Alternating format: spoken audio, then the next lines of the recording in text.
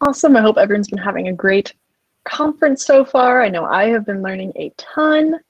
Uh, so I'm excited to, to continue it with this session and continue it even more tomorrow.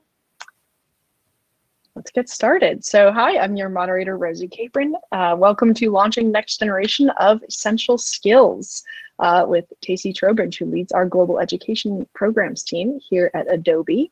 Uh, I'm excited to, to hand it off to her so she can tell you a bit about how to set your students up for success.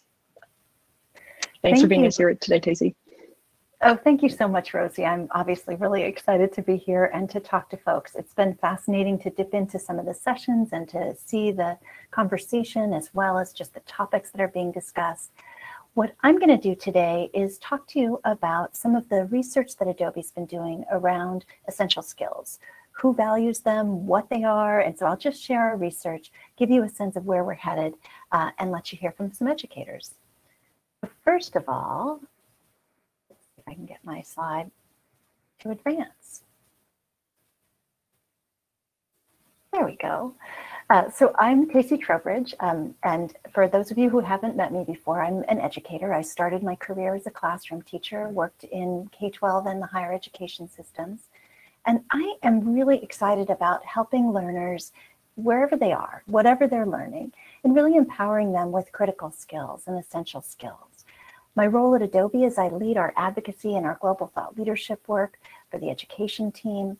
I also look after our certification programs. And I'm really excited today just to share with you what we're doing and how we're, we are looking into the ways in which we can best prepare the next generation for success. I gave you a quick overview, but I'll just tell you again that first we're going to look at some of the importance and the impact of essential creative and digital literacy skills, highlight some ideas from educators, reflections, advice, and then share some resources if you'd like to learn more and dive into some of the research in greater detail or hear more from the educators that I'll be highlighting in this session. So first of all, the key question, what skills prepare students for success in a changing world? I think this last year has only underscore, underscored the importance of really in, in focusing on the most important, the right kinds of things as we're engaging with students. Uh, particularly when there's any kind of large disruption, it forces you to ask yourself, what's the purpose? What am I really trying to do here? And as I look at some of the ways in which people have been answering those questions, increasingly there's a focus on what can I do to help my students be successful in my classroom today and as they go forward.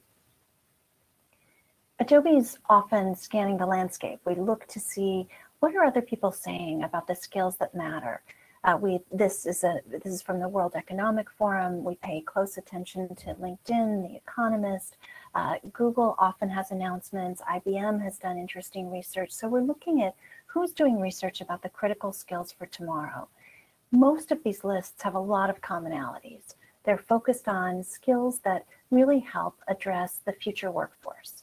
So complex problem solving, critical thinking, creativity as being skills that are really key in a world that's changing rapidly, where it's hard to have every to learn everything you need to know for your job before you start it more than likely the world is going to continue to change and you'll need to adapt. And so we see a real focus on essential skills, what we call the five C's communication, creativity, critical thinking, creative problem solving, and creativity as skills that will really help students continue to adapt as they move into their futures.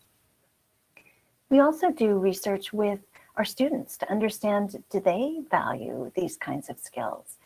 And we, we conducted this study initially uh, several years ago, five years ago, and then did it again in 2020 to understand if anything had changed. Students absolutely see creativity and these, these skills as critical for their success. They see it as critical for their personal success and also for the success of our society, of our world. They also think they learn best when they're when they are creating, and they wish there was more of a focus on creativity in their classrooms. Educators agree. They see that these skills are critically important for students. They think it's likely to set their students up for uh, longer careers where they won't be as impacted by automation, and then also for careers that allow for advancement uh, and that position students for higher paying roles.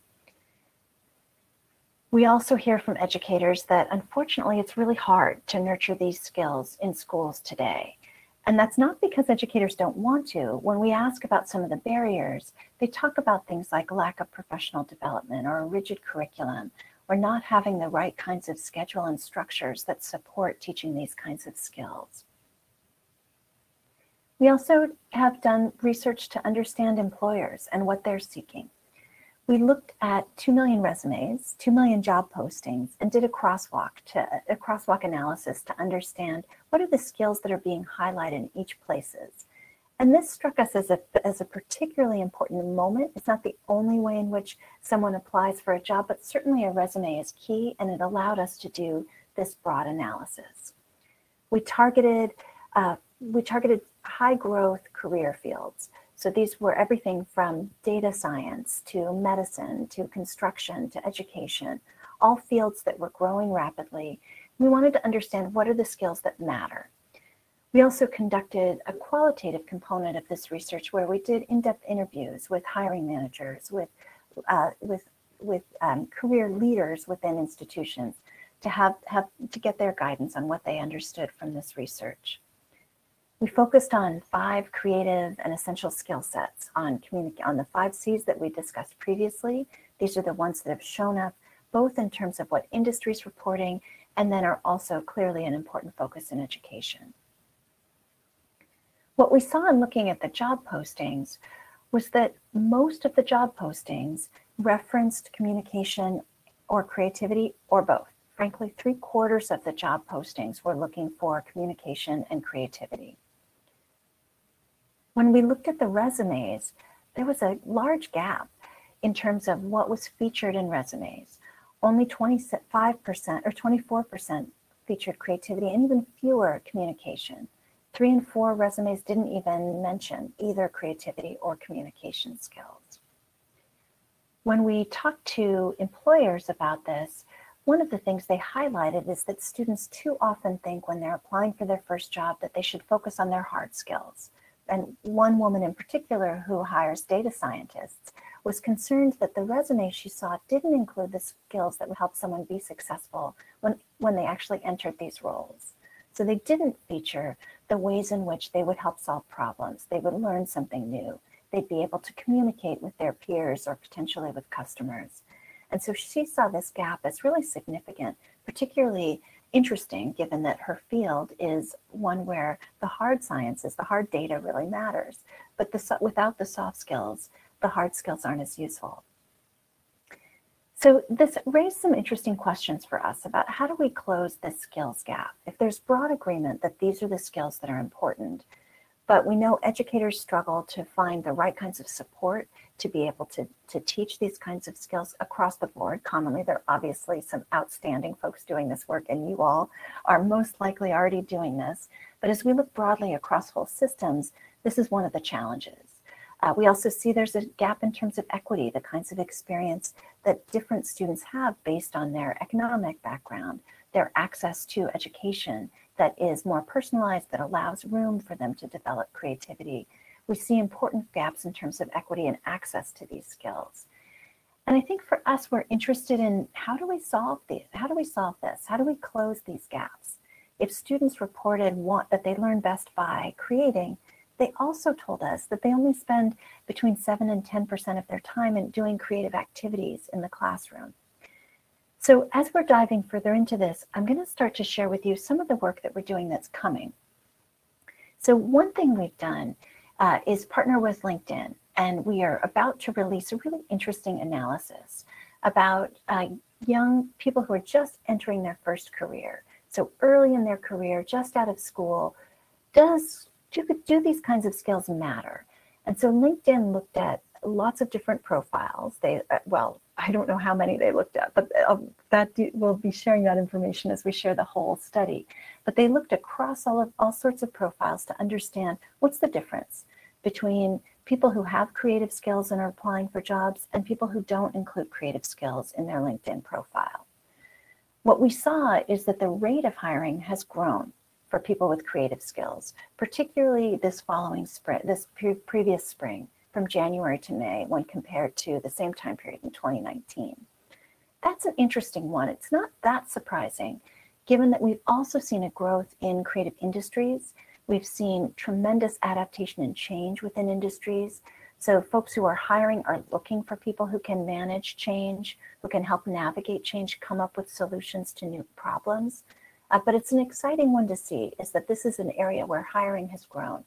And again, this is across the board. This is not just in creative industries, but this is really looking quite broadly uh, at anyone who's applying for a job who fits it within this early career category and applying to any job that's that uh, is visible. Then what we've also seen is that creative skills help applicants earn more, that they are paid up to 18% more when they're entering the workforce. And this again varied across different uh, different different career fields, but it was clear that there was an increase uh, in terms of how much money an applicant was able to make when they first applied for a job. Then we were interested in the next phase of this, which is understanding what happens next. So you've gotten your first job, you're hired, you've been able to negotiate a good salary, then are you likely to get promoted or to advance? And we saw that recent graduates with creative skills were twice as likely to be promoted in the in the previous 18 months. They were twice as likely to have um, increased their position, to have more seniority, or to have obtained an advanced degree. So we'll be releasing this study uh, in the fall, likely in mid-September. So stay tuned and look for the details of this. This is really just a sneak preview, uh, and we'll be sharing more details about this. Uh, and I think it's just a really interesting study to help us understand what, what really matters and how can we help prepare students for this. Then tied to this study is another one. This is one we've done with three of our Creative Campus institutions. These are higher education institutions who've adopted Creative Cloud across their campus. And they, they want to understand, and we're really interested in understanding what's the impact? Does this matter for students and help prepare them as they move forward within their academic career?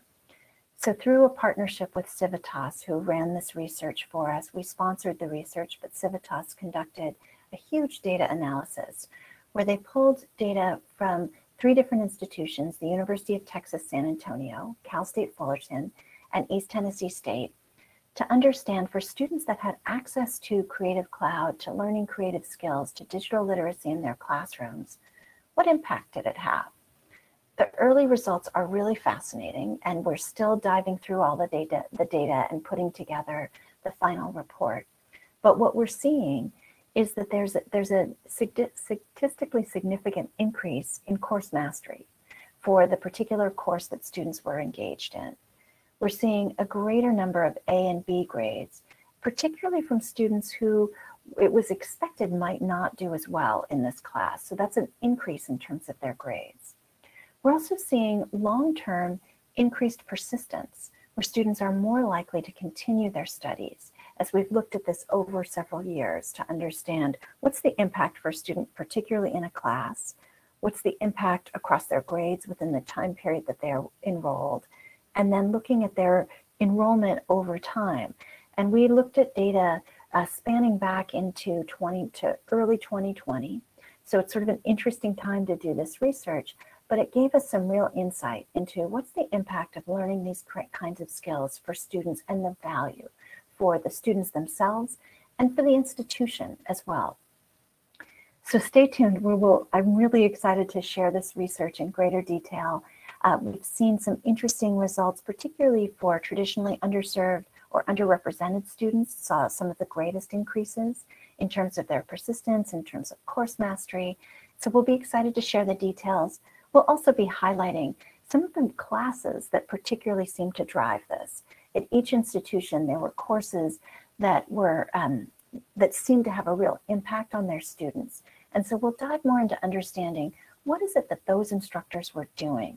What were, how were they teaching? How were they preparing their students in ways that gave them such an important increase in these different measures?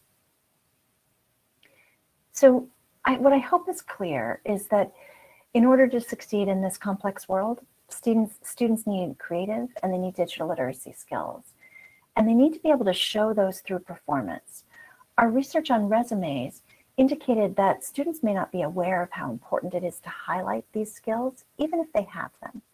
and if they have these skills, they may not know how to show them.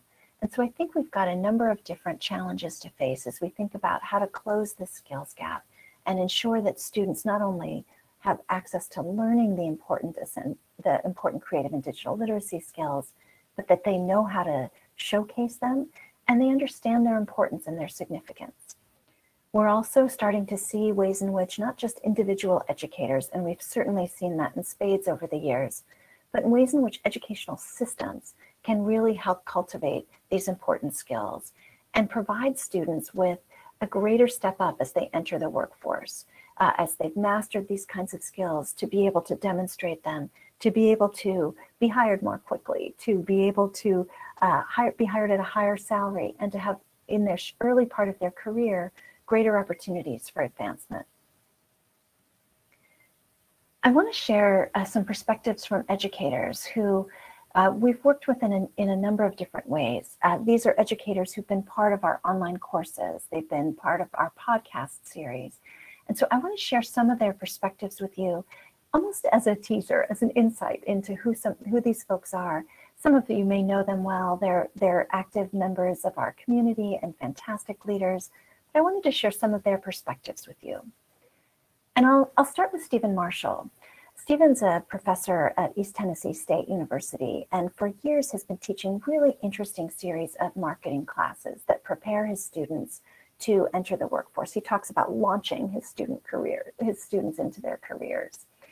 And so he gives them opportunities to participate in real world, world projects. They work on teams, they've got a client, they've got to figure out how to take on and address client work and solve problems as they come up. And so they're taking some of the concepts that they learn in, in his class and applying them in the real world and learning in real time. That worked, that didn't work, how to pivot, how to adapt. He's got a great quote that to be a great communicator, to be a great collaborator, this should be taught across discipline. It's relevant where who whatever career you're going into, whatever you're studying. And so this focus on skills that transcend some of the traditional disciplines is a really critical piece. He also works hard at helping his students differentiate themselves so that when they're presenting, whether they're doing a Zoom interview for the first time, that they've got what they need to present themselves professionally, to demonstrate what they know and can do. He has his students participate in certification, in competitions, in anything that will externally validate that students have these skills in a way in which they can actively uh, deploy them as they get started in, in a new field. So his students will take the Adobe Certified uh, professional certifications as a way to demonstrate to employers that they've got skills that, that will help them be successful. Then they also have a portfolio of work that they've done as they've completed a real world project for a client. Stephen participated in uh, one of our free Adobe Education Exchange courses, which is about essential skills uh, that launch that's launched student careers. So you can hear more directly from him there. He also participated in the Creative Educator podcast with one of his former students, both reflecting on what are the ways in which uh, he, Stephen helped prepare this student as he moved forward, what were the things that really mattered to the student. It's a great interview and I encourage you to check it out. Then I also wanted to highlight Michael Hernandez, who is also one of the speakers in this course and has participated in the podcast as well. Michael's classroom is really interesting, and I think his reflections on this past year and the kinds of assignments, the ways in which he adapted was, was really compelling. Uh, he focuses on digital storytelling. He runs student-centered classes. He thinks really carefully about ways to assess student work and that are meaningful to them. Um, he leverages technology in, in very powerful ways, bringing experts into his class and engaging with students, uh, and thinking about how can, how can students really do work that has an impact on their communities. Uh, he talked about some of the work that students were doing during COVID as being partly just processing and trying, trying to figure out what was happening in their world and reporting and sharing on that. It was also about connecting with other people. Uh, he was talking about a photography project, a portrait project he had students do. And if you can imagine, many of you probably tried to do this, but if you can imagine trying to take a portrait of someone at a distance when you can't actually be in the same space, that it was the students ended up teaching people how to take a self-portrait and how to frame that to help tell a story. And he's one of the things he talks about is his excitement about the way a global pandemic has really challenged us to rethink what we're doing, to think about how we teach, to focus on what's important, um, and to think about how can we help our students learn. I, I love this, this particular quote where he talks about, for him, this was really an opportunity to experiment, to share, to help others, to listen, and for many of the other educators in his school. Lisa Gottfried uh, is a project-based learning. Uh, she's not just a practitioner, she's an expert. Uh, she works at New Tech High in Napa, which is an entirely project-based school. Her students draw, also drive projects for real clients, and these are her high school students. So they, uh, she has them not just do uh, work on a project, but drive the project. Students take on different roles. Some are project managers. Uh, some are actually doing some of the design work but they have to work together to solve these real challenges. And Lisa's advice is that if you're thinking about teaching these critical skills, the best thing to do it is to create a learning environment where you have to use them, where they're not optional or a nice to have or being woven in, but they're critical. And so you can see for students who are driving their own projects, they have to communicate effectively. They have to collaborate in order to be able to do this work. They need to be creative problem solvers to think critically and to leverage their creativity. Uh, she ties this idea about creating learning environments to assessment and talks about learning as being this process of really pr important productive struggle. Uh, if it's easy, you're not learning as much as you could be. And she talks about the traditional forms of assessment as transitional as, or transactional grading. Uh, and what she really encourages folks to do is think about how you can assess in ways that create productive struggle or not just plain struggle, but are actually productive in teaching something. And so looking at assessment and seeing assessment as a tool, a way in which you can help really give the important kinds of feedback that will help students learn and grow, uh, rather than just a letter grade that um, is a, a specific transaction. Student hands in the work, teacher grades it, hands it back. But this kind of assessment really should be about how do you help students move and develop their skills. And then finally, Al Thomas, who, and I'm sorry, I should have mentioned that Lisa is also featured as one of the speakers in this course, the Education Exchange course, so is Al. Um, Al comes from a really great background. He's done tremendous work as a teacher, a principal, as a technology lead, currently working with ISTE. Uh, his advice in, that I thought added to this whole presentation is essentially about being vulnerable. It's about encouraging teachers to create opportunities and space for students to see them developing their own creative skills. That this isn't something that we stop doing. These are skills that we continue to develop over time. And as an educator, you have a tremendous opportunity to model this for your students and to share with them uh, some of the processes that you use, the ways in which you adapt and change, I have to say last year, I don't know an educator that wasn't innovating on the fly. And I think one of the really powerful experiences that we all had uh, was the opportunity and in fact the mandate to try new things that, that we, we couldn't do things the way we'd done them previously. We also had to be vulnerable in learning publicly uh, and, and making mistakes publicly, engaging with our students in different ways. As I think about both the research and what we're seeing, this, what we know about the important skills, and then also our opportunity as we begin a new school year in North America, uh, certainly enter a new season, is that we have a chance to really ask the important questions. Are we doing the right kinds of things? Are we teaching the students the right skills?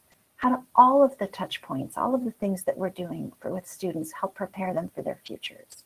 Whether that's through the kinds of assessments, whether that's through instructional practices, whether that's through the projects that students are working on we have these tremendous opportunities to help prepare students for a changing world. And I think that's, a, that's an incredibly important mission for educators. I wanted to also just give you some next steps, places you could go if you've got, if you want to dive in and learn a little bit more, either about the research or some of these educators and their practices. And so first I'll share this course, Preparing Students with Essential Creative Skills. This is free. Uh, it is, you can take it at your own time. You can explore, dip in. All of the videos included in this are posted on our YouTube channel. So if you wanted to include them in a professional development session for that you're doing at your school that might be focused on assessment or focused on looking at projects for K, in K-12 or hearing from higher education educators reflecting on how they teach these skills.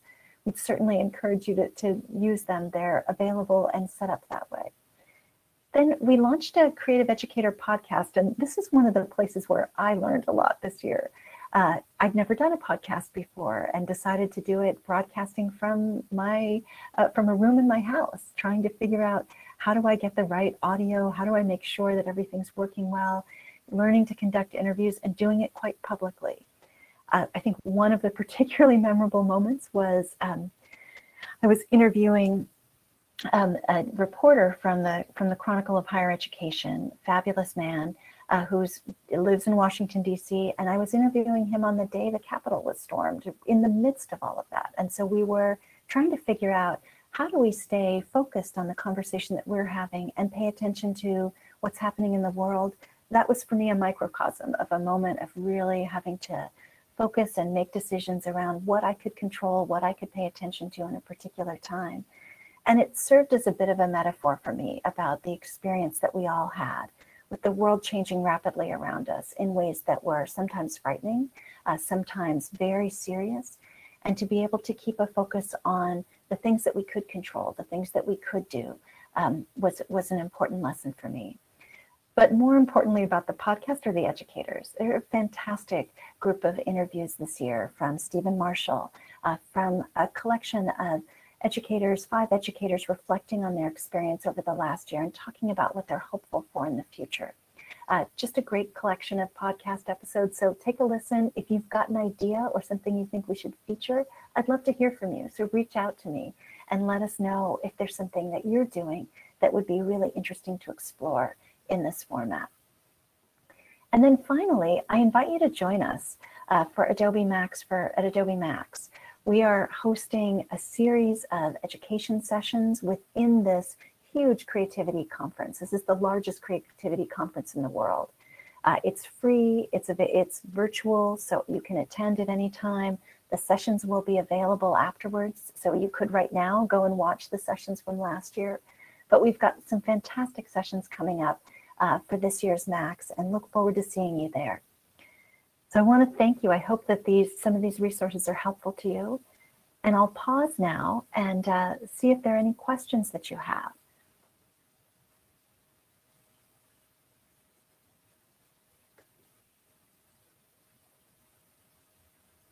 Rosie, I'm going to need to stop sharing. Thank you. All right.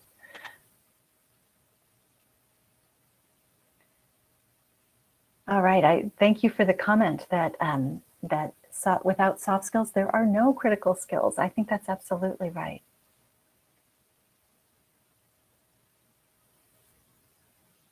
and that certification makes students feel successful. I, you know, that's I think a really important point. As we've done some of our research about what helps students feel successful, we, are also realizing that confidence matters a lot. And so, giving them the confidence that that's probably obvious to you, but I think to see it show up in the research was really interesting that student confidence that they had the right kinds of skills, that they knew how to do a project, that they had experience engaging with the kinds of technologies that they'll use in the workforce, gave them confidence to apply for a job, confidence as they started a new job, and gave them a leg up um, and made it easier for them to advance.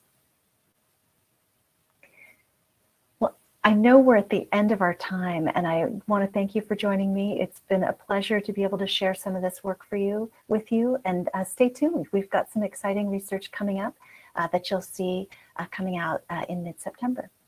Thank you. Thank you so much, Tacy, for taking the time to, to share. This is really insightful and, and I hope really helpful for everyone who was able to attend today. Um, everyone, I want to thank you for taking the time to, to learn, to chime in.